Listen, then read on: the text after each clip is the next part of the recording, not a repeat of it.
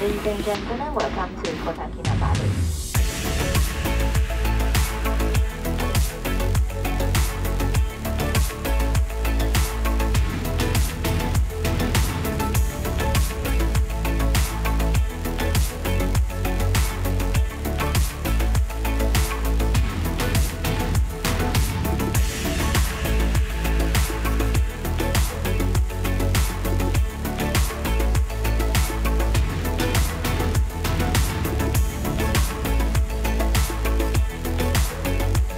Ladies and gentlemen, Mr. Deng Ah I'm happy to share with you the brand new Singapore Cooperative Movement logo.